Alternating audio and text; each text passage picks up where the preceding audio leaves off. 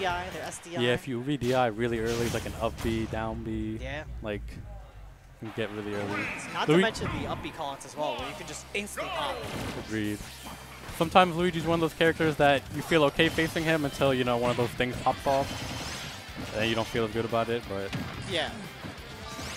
But with Cee this time around, you know, we definitely have to be aggressive on the Luigi because Luigi doesn't have the best of the approach game. But when you're going for your follow-ups, you have to watch out for the tornado because that's kind of going to be eaten through your moves. agreed. And you can see GuyGuy trying to looking for a little bit of an approach. But see, throwing out the endless wall of kind of Palu back air. You know, you got to eat through the fireballs, eat through everything. But GuyGuy kind of really on top of Cee this time around, which I kind of like that he's being inside of Cee space right now.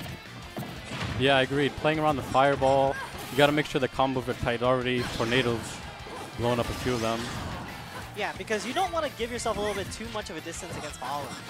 Because she has auto reticle, she got explosive flame as well if you play at that distance, but you know, that's like we were talking about before. You can Yep. instantly just pop stocks with that up. Yep.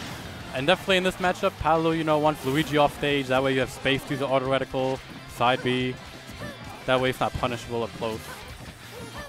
Yeah, see, um, looking to maybe fear Luigi this time around, but back here, putting Gaga in the corner this time around. This is where Palu got to excel. This free, free ledge traffic in progress. And, oh, okay, a little, little bit of a scuff situation happening, but see, closing out that stock. Palu Nair does everything. Gimps, you know, combo, everything. kills, late on, everything. Yeah, and GuyGuy looking to end it all. Playing really phenomenally around this ledge as well and trying to go for the Oh. uppie as well. But see, having that DI unlocked, not actually falling victim. There goes Tornado. Yeah, but that was, I believe that was a punish on the cross up this time around for uh, just an air out of shield. But, you know, we're still getting these combos this time around. That's a free 57 on Luigi and yielding an air dodge. You don't want to give up that air dodge in that situation. You might as well just take that hit.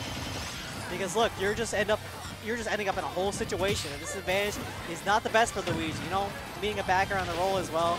Yep, it's been about a 20, 25 second ledge trap at edge guard here. Okay, finally getting out of it. Yeah, see dropping it and kind of resetting the positions this time around.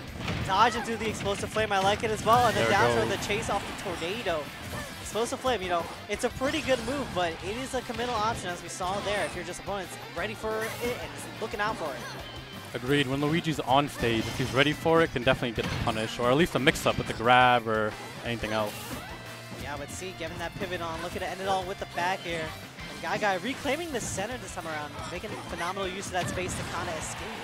But there's Palu back here, put him in the corner once again. Blitz Rapid City. And down tilt, closing it out. All right, now we got last stock, last stock, Yeah, pretty even game on the board this time around. and we're See- yep. Go ahead. Where Cee's made their money has been when Luigi's been oh. Yeah. Uh, there go, there go. Starting a thought. Luigi Luigi zero to death. Luigi Kings. When you gotta grab, you better start sweating. You better start SDIing, DIing out of your life. A trick I was kind of given word on is at the last possible second, like DI the up B, and you could kind of get out of it. I don't know how much of that is true, but it, it seems pretty solvable. Like just DIing out at the last moment to kind of just mess up their whole flow. And you know, we're finally seeing some new territory tonight. No PS2 Hollow Bastion. A much more closer stage with that center platform. Yep. Still got those blast zones to worry about. Yeah, definitely. And where Gaga made the money last match was when they were on stage. You know, Cee closed out most of the stocks, ledge trapping, edge guarding, but Gaga's been had a little bit of an advantage when it's been in his off stage, um, neutral and on stage situations. Yeah, and the thing about Gaga, right? He doesn't want to zone. He wants to scrap. He's kind of been in Cee space the whole entire time. But Cee is looking to do just the same right now. That's 46 on the board, but the dash attack shouldn't see out. But hold up. Hold this back air. Put it in the corner. There was the air dodge as well. Cee could have just drifted on down for that double back air, but Let's see how they get out of the corner here. It's been tough all, all set so far. Yeah, that But the parry off the side as well, not able to get a punish. That's kind of really unfortunate. Hold up, chasing that air dodge as well, and there's that back air. Yeah, catching the jump there, good read. Yeah, closing out a very confident first stock, but you just can't let Luigi touch you, you know? Because he's just going to blow you up. He needs like one good solid hit, that one down throw, so he can kind of read that DI to get a free uppie. Yeah, Luigi's advantage can be really crazy. So good reads. Yeah, but this is GuyGuy's turn at the ledge here, but Cee command in that respect with the Palu Fair all aboard the Nair train. There's that back here, sailing on off, but GuyGuy busting out the Luigi Tornado for the first time in a minute. There's that Nair though, trying to convert off of it, but throwing out the L smash a little too committal on his part. Oh, falls out in there after the parry. Now Steve's off stage. Sour spot there, not gonna kill it. Unfortunately, not getting that spike, but trying to OS the situation at the ledge with the tornado. Still is not able to close it out, but the second one definitely will. You finally gets it to stock the piece here. Oh, almost got something started there with the fair. Yeah, nice conversion. The fair reading the DI off into the explosive flame.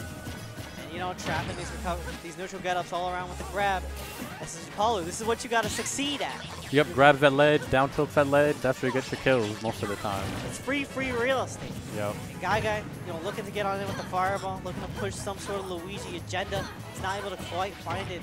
But there you go. There's a Summertone move. The combos on the flat. Yep, making use of this platform. Yeah, but that's probably the main reason why uh, Luigi was kind of okay just rocking with the stage. But this is Cee's counterpick. It does. Ha it has worked well for the Palu Nair train. A lot of extra damage on the combo. Yeah, because you can kind of mix it up. You can turn your, your direction on around, so they have to kind of mix up their DI as well and kind of react to you. Mm. There's GuyGuy calling. He jumps from out of the shield and call out the explosive flame as well with the back air. All right, GuyGuy, I see you. I see you. Yep, great conversion there. Looking to attack on extra damage here. 140. Might mess up a combo with too much rage at early percent.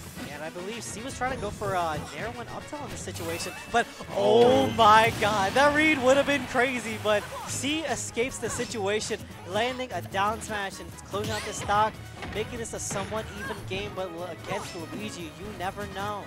You never know. Let's see what GuyGuy got cooking up. Yep, and there's the up B. God God, always cooking up a storm. Great conversion. Plunger into